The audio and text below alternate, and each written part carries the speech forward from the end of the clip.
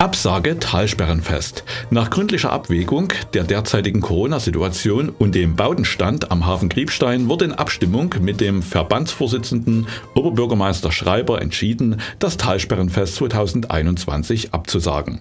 Als Grund führte der Zweckverband Griebstein-Talsperre an, dass die topografische Lage sowie die fehlende Einfriedung des Hafens und des Besucherzentrums eine Begrenzung der Besucherzahlen nicht zulassen. In der Vergangenheit besuchten an den Samstagen ca. 4000 bis 5000 Gäste das Talsperrenfest. Bei der Gästezahl sei es nahezu unmöglich, geltende Abstands- und Hygieneregeln einzuhalten. Ein weiterer Grund ist der Bauverzug im Hafen.